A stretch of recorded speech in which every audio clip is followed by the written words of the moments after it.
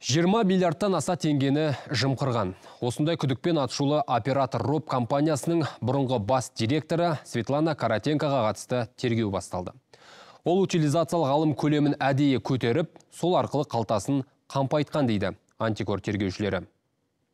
Қазақстан Республикасы сыбайлас жемқорлыққа қарсы қызметі операторы РО бұрынғы бас директорына қатысты 2016-2021 жылдар аралығында көлік құралдарын кәдеге жаратудың жоғары құнын белгілеу арқылы кәсіпорынның 20 миллиард теңгеден астам сомадағы ақшалай қаражатын жымқыру фактісі бойынша сотқа дейінгі тергеуді бастады. Оператор РО бұрынғы бас директор соттың санкциясымен қамауға алынды.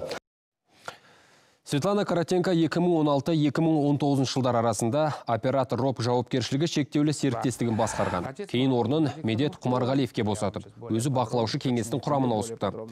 Еске салайық, бұған дейін дәл осы компанияның басқарма төрағасы Медет Құмарғалиев шетел аспақ болғанда қолына кісен салынған.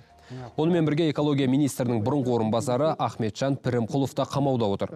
Аталған екі азаматта ірі көлемде ақша жымқырды деген күдікке іліккен еді. Ал оператор роптың тағы бір өкілі Руслан Шәмшиев компанияға қатысты даудамай басталғанда өз-өзіне қол жұмсап бақилық болды.